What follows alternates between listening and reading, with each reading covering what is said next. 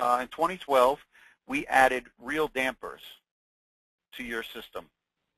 And now when I place taps in 2013, you're going to get the damper automatically adds itself to the tap, and you're also going to get a volume damper tag. All right, I've got this elevation tag also showing up for the taps, which I can turn off. But this is what you're going to get here. Now, the other thing is, if I don't know if you saw just a minute ago, when I added that tap, it knew we needed a damper, so it added additional material. So if I had a tap with no damper, it would just draw my tap, my basic six inches. If it is going to automatically put a damper in, it'll automatically add an additional six inches to the tap.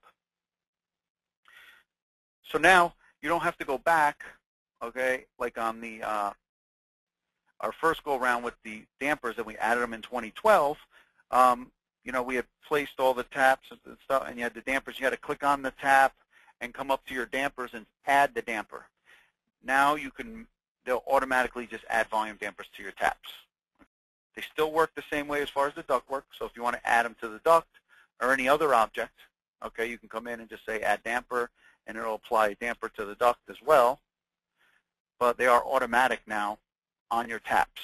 Again, this will come to you adding dampers automatically, adding extra material automatically, okay, which is adjusted in Part Manager, in the manufacturing defaults in Part Manager, um, how much material you wanted to add, and if you want the dampers enabled or not.